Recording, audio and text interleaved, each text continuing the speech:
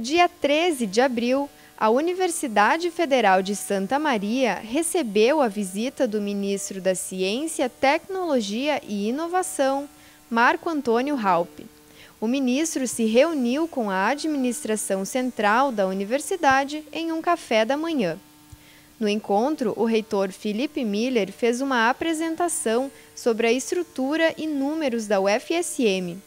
O ministro se comprometeu a começar um processo de cooperação entre o Ministério da Ciência, Tecnologia e Inovação e a universidade. É uma universidade que está se desenvolvendo bastante e aproveitando todas as oportunidades desse programa de expansão do governo federal. É, eles são, é, estão é, participando efetivamente desse programa Reúne, né, de expansão da, da, de vagas e de, de, das ofertas de, de oportunidades da, das universidades federais, estão aproveitando bastante, estão duplicaram o número de vagas pelo que o reitor me informou. Então, isso mostra que são, estão aproveitando essa oportunidade. E também, é, eu, eu tive, antes de vir para cá, eu vi os investimentos do Ministério aqui no Rio Grande do Sul. A Universidade é, Federal de Santa Maria tá, vem logo atrás da, da, da Universidade Federal do Rio Grande do Sul. Uma universidade do Rio Grande do Sul é muito maior, uma universidade maior e mais antiga, o, o progresso maior está acontecendo aqui na Universidade Federal de Santa Maria. Então, recentemente, a dinâmica aqui está muito boa, de crescimento da universidade e de toda a sua infraestrutura. A qualificação também da, da, dos seus cursos, especialmente os cursos de pós-graduação, são também indicadores do progresso que está havendo na universidade. É, eu fico muito satisfeito com isso, porque eu acho que o, o Ministério da Ciência, Tecnologia e Inovação tem uma contribuição a dar nessa questão da qualificação das universidades. Que contribuição é essa? É o financiamento da infraestrutura laboratorial e é, a capacidade que nós temos aí no, de ofertar bolsas de, de vários níveis para estudantes e professores que se envolvem no, nos projetos de pesquisa.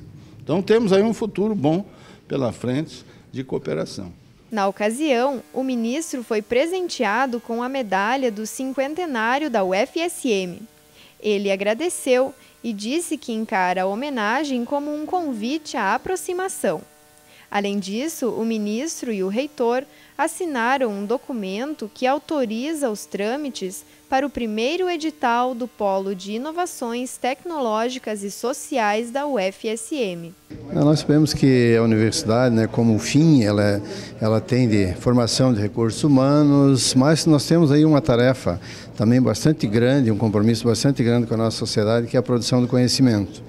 E na produção do conhecimento passa, passa assim, o caminho, o investimento que é feito no Brasil, grande parte pelo Ministério da Ciência, Tecnologia e Inovação. Então hoje aí nós temos né, uma possibilidade grande de investimento no parque tecnológico, no nosso polo de inovação tecnológico, nas, nas incubadoras tecnológica e social, né, nos projetos de pesquisa, no CTINF. Então nós tivemos aí uma grande oportunidade de apresentar esses projetos ao mesmo tempo que cada vez que se tem uma ação maior, a, a, a, necessidade de investimento também vai aumentando e esperamos que com essa visita, ele recebeu a, a medalha de visitante ilustre, esses, esse, essa parceria e essa comunicação se estreita. No final do café da manhã, o reitor Felipe Miller aproveitou para convidar o ministro da Ciência, Tecnologia e Inovação para ministrar a palestra de abertura da Jornada Acadêmica Integrada de 2012, que começa no dia 22 de outubro.